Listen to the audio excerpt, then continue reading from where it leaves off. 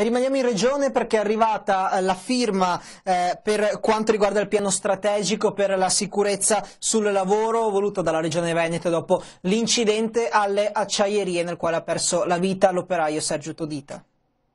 Un piano contro i morti sul lavoro, una firma importante, quella che è stata messa oggi a Palazzo Balbi, sede della Giunta regionale del Veneto, per attuare misure concrete contro infortuni e malattie professionali. A fare fronte comune Regione, Ispettorato del Lavoro, INA, Vigili del Fuoco, sindacati e associazioni di categoria. Il tutto a poco più di due mesi dall'incidente alle acciaierie venete e al termine di sei mesi tragici dal punto di vista dei decessi sul lavoro, già 33 da inizio anno. Otto le aree di intervento previste dal piano 2018 2020, 9 milioni di euro il budget a disposizione. Tra le misure principali l'assunzione di 30 nuovi operatori Spisa e l'aumento dei controlli nelle aziende della regione. Il primo a livello nazionale, lo invierò ai miei colleghi presidenti delle regioni e tutte le associazioni lo manderanno ai loro omologhi a livello nazionale, quindi diventerà una rete no? endemica, una distribuzione endemica di questo modo di fare, mettere tutti assieme e poi operare. E si farà formazione, che si metteranno in contatto i nostri controllori con i responsabili aziendali che andremo nelle scuole in, tutto, in ogni ordine e grado